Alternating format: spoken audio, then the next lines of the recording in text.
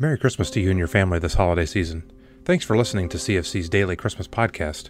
We hope that this podcast, from the staff of CFC, encourages you and inspires you this holiday season.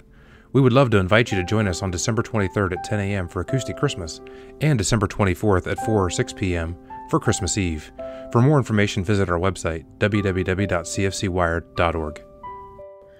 When I was a child living in Nebraska, on Christmas Eve, my parents would bundle my two sisters, brother, and me up in our winter coats and load us into our yellow station wagon. We would head over to my great Aunt Bonnie and great Uncle Robbie's house together with other family members to celebrate Christmas together. I remember all those delicious German cookies, available only at Christmas, and the tables loaded with food. The grown ups would spend time chatting while the kids played games, but all the while we would keep our ears open to hear the bells of Santa's reindeer. As kids, we were filled with excitement to know that those bells meant Santa would be making an appearance, and gifts would not be far behind.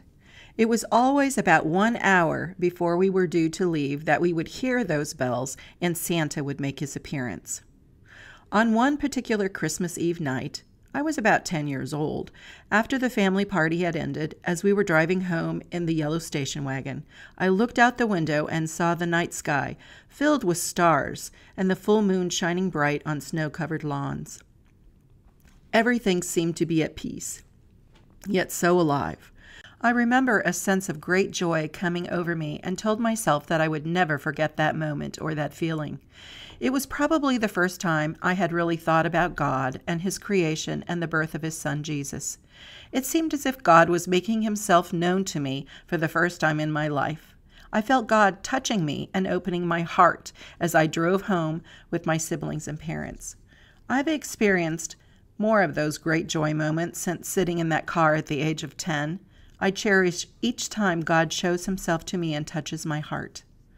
The Bible is full of great joy moments. The Magi from the east experienced it. In Matthew 2:10 it says, "And when they saw the star, they rejoiced exceedingly with great joy."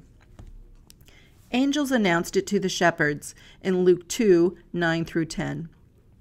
And an angel of the Lord suddenly stood before them, and the glory of the Lord shone around them, and they were terribly frightened. And the angel said to them, do not be afraid, for behold, I bring you good news of great joy, which shall be for all the people. When have you experienced a great joy moment in your life? What does it look like?